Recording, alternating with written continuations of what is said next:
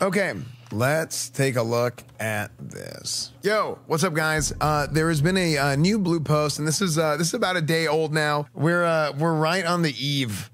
Uh, we're right on the eve of season of Discovery coming out. Everybody is very excited. Like you can see how excited chad is right now. So they put out a little uh, a notice here a blue post about a classic era PvP update that is uh, also going to be applying to Season of Discovery. So people have asked me to look into this. I've done a lot of PvP in my time. Uh, I, have done the honor grind. I've done the uh, the rank 14 grind before. So uh, a lot of people have asked me to look at this, and I haven't had the chance to just because I've been so busy getting ready for Season of Discovery, uh, trying to figure out what server we're gonna play on and uh, all that kind of stuff. Getting the getting the guild back together, kind of coordinating with a lot of the old guilds from years ago, having some fun with it. Okay, this is from Kaivax. He says, when we updated the PvP honor system in patch 1.14.4, our changes were focused on making it so that we no longer needed the old PvP honor system script. So this is a change that happened in the summer, and we can go ahead and take a look uh, we can go ahead and take a look at that as well, because I think a lot of people aren't familiar with that. Maybe if they haven't been playing Classic Era or anything like that. Because the honor system that we have today is not the same honor system that we had uh, in original vanilla or in, in the classic re release. They've changed the honor system now. So we can take a look at that as well,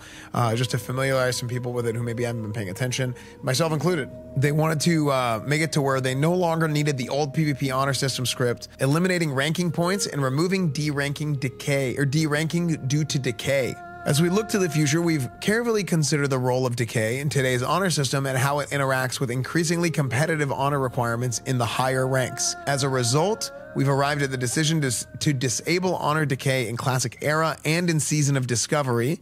This will become effective starting with the scheduled weekly maintenance uh, on December 6th in this region. When the uh, weekly honor rollover occurs on December 6th, you will no longer decay due to having not met the minimum honor requirements for your rank. Please note that decay is not the same as the penalties incurred by earning dishonorable kills, which is now the only way a player can lose rank of progress. Thank you.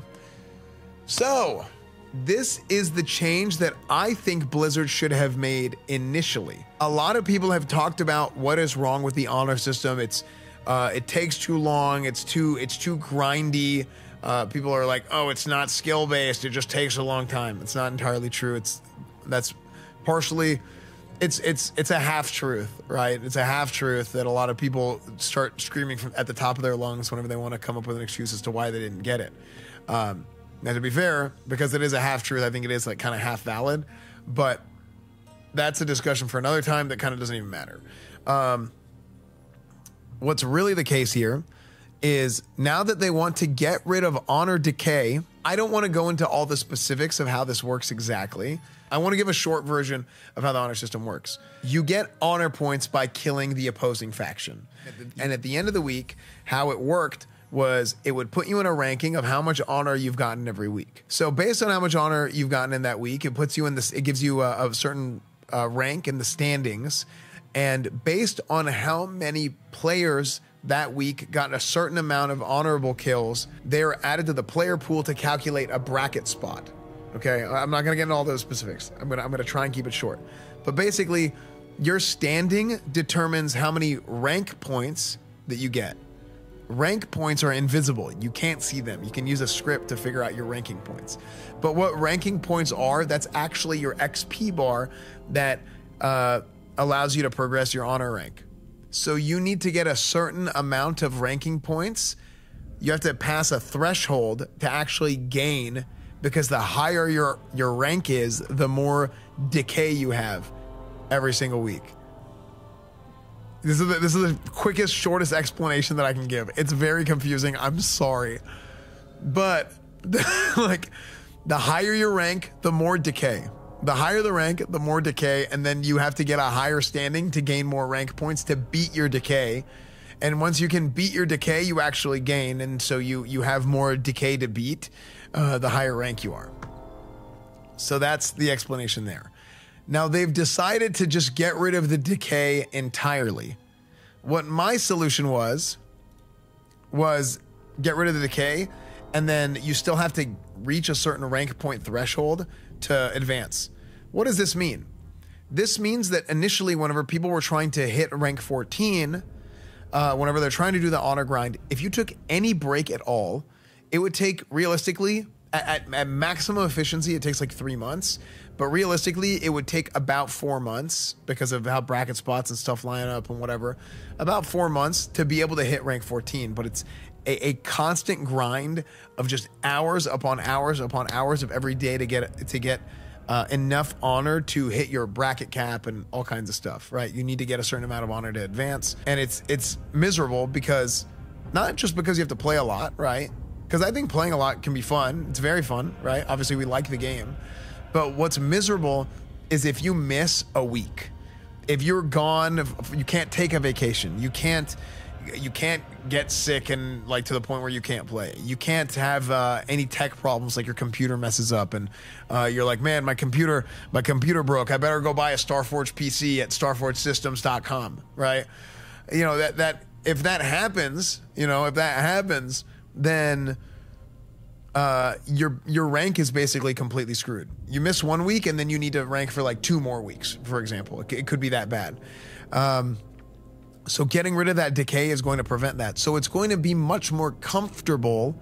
It's still going to take as much time, or like th- this method makes it to where it takes as much time still, but not as much time in a row. So you can take a break if you want to, and you can continue down the road to keep trying to rank up. So that's that. That's kind of how the way that I look at it, if you get rid of the decay, but then you still have to get that rank point threshold to, to advance, then it works. Here's my concern I think this is a half good change. So this effectively makes it easier to rank. So basically, here's what we're saying. Whenever they made this PvP change, right? Whenever they made this PvP change a while back, uh, you guys said, and again, I, I haven't done the rank since they changed the system a few months ago on Classic Era. They got rid of the old honor script. They got rid of uh, they got rid of how ranking points work, and they removed deranking due to decay. And now they have this like new contribution point system. So they've made it where you can still decay, but you don't actually derank due to decay. So let's say you're rank 13, you have a family emergency, your computer breaks, something happens, you're trying to get rank 14 how it works today, right now, before this change goes in, is if you're halfway through your progress bar, that progress bar could go all the way back to the beginning. And then when you come back, you still have to get all of rank 13 and then 14, or all of rank 13 to get to 14. So now they're get rid of, getting rid of that entirely. And uh, they've basically made it now to where you're not competing against your own faction as much to be able to uh, rank up. Now, does this make ranking easier? I think it probably does make ranking overall. I think the fact that they've done this change and now they're doing this change, ranking is definitely easier than it was uh, in the past uh, in the original system. I think it's it's like I think it's probably I think it's a little bit easier, but I think it's way way more comfortable. I, I think that I think that it they should have always had it to where the decay was removed and you just had to have like a certain rank point threshold to advance because it looks here like um, with how they've changed this is they've changed it to where it's it's just like a very very very long rep grind and uh, this post gives a uh, this post gives like a more more specific like the the math behind it and how the contribution works contribution like i said contribution points are, are kind of the equivalent of what rank points were before now people are going to be like well i did it pre decay change True, but uh, I guess at the end of the day, I personally won't really know if it's if it's easier now uh, or how much easier. I think it did. I think it's definitely easier, but I don't know to what extent easier it's going to be uh, unless I do it again. I don't know if I'm ever going to go for rank 14 again. It's very very uncomfortable. Uh, there's there's a lot of things that you have to put on hold in, in order to be able to do that. And I'm in a different situation in my life right now with with what I'm doing with with my stream, with OTK, with Starforge, with Mad Mushroom, everything else that I do that I don't think I would be able to to commit to the old honor grind anymore. But now that they've changed the system to be like this, I mean, maybe there is a chance that I come back, and maybe there is a chance that uh, that I that I go for uh, for rank 14 again in, in, a season of discovery or something. I don't really know, but this this definitely makes it more attainable. I think it's going to be very interesting to see. As a classic PvP noob, what is the harm if ranking is made easier? Uh, too much good gear is available too easily, and it, and it makes it uh, less special. If you're doing something commendable within the scope of the game, you should be rewarded properly for it. And if something is is now made too easy with the same level of reward that it had before, it now turns into something that, oh, well, this is so easy that any anybody can do it easily.